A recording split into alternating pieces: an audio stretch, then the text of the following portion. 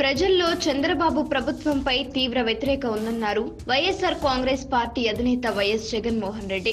ప్రజలకు తనపై నమ్మకం ఉండడం వల్లే సమస్యలు చెప్పుకుంటున్నారని దేవుడు అవకాశం ఇస్తే తప్పకుండా హిస్టరీ క్రియేట్ చేస్తానన్నారు జగన్. ఈ అవకాశం ఉపయోగించుకోకపోతే రాజకీయ నాయకుడిగా ఉండడం వ్యర్థమని వ్యాఖ్యానించారు. ఆంధ్రప్రదేశ్కు ప్రత్యేక హోదా రావాల్సిందేనన్న జగన్ పార్లమెంట్ సాక్షిగా ఇచ్చిన హామీని నిలబెట్టుకోవాలని డిమాండ్ చేశారు. అరవై ఏళ్ళ హైదరాబాద్ లాగే పదేళ్ళలో ఆంధ్రప్రదేశ్ను అభివృద్ధి చేసుకోవచ్చన్నారు.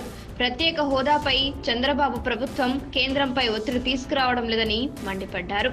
తెలుగుదేశం పార్టీకి చిత్తశుద్ధి ఉంటే ఇరవై రెండు మంది ఎమ్మెల్యేలతో రాజీనామా చేయించి మళ్ళీ ఎన్నికలు పెట్టే దమ్ముందా అని ప్రశ్నించారు జగన్. రెండు వేల పంతొమ్మిదిలో వైఎస్ఆర్ కాంగ్రెస్ పార్టీకి అభ్యర్థులు లేకుండా చేయాలని చంద్రబాబు ప్రయత్నిస్తున్నారని ఆరోపించిన జగన్ ప్రజాస్వామ్యాన్ని కాపాడుకోకపోతే రాబోయే రోజుల్లో ఇబ్బందులు తప్పవన్నారు.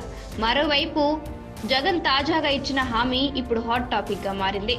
ఇంతకీ జగన్ ఇచ్చిన హామీ ఏమిటంటే తమ పార్టీ అధికారంలోకి వస్తే ఎలాంటి వ్యాధికైనా ఆరోగ్యశ్రీ పథకం ద్వారా ఉచితంగా ఆపరేషన్ చేయించి రోగిని చిరునవ్వుతో ఇంటికి పంపుతామన్నారు. ఆరోగ్యశ్రీ పథకాన్ని చంద్రబాబు సర్కారు నీరు కార్చిందని ధ్వజమెత్తిన జగన్ తాము పవర్లోకి వచ్చిన వెంటనే ఆరోగ్యశ్రీ వ్యవస్థను మెరుగుపరుస్తామన్నారు. క్యాన్సర్ కిడ్నీ మార్పిడి మోకాల శస్త్రచికిత్సలు బదిలీలైన పిల్లలకు ఫ్రీగా ఆపరేషన్లు చేయిస్తామన్నారు. అన్ని వర్గాలను మోసం చేస్తున్న చంద్రబాబు పాలనకు చర్మగీతం పాడే రోజులు వచ్చాయన్నారు. రామాయణం మహాభారతం ఖురాన్లలో నిజాయితీనే గెలిచిందని గుర్తు చేసిన జగన్ భ్రష్టుపట్టిన రాజకీయ వ్యవస్థను ప్రక్షాళన చేయటమే తన ధ్యేయంగా చెప్పుకున్నారు. తాజాగా జగన్ చేసిన హామీలు అమలు ఎలా అన్నది పక్కన పెడితే సామాన్యుడి దృష్టిని విపరీతంగా ఆకర్షించటం ఖాయం.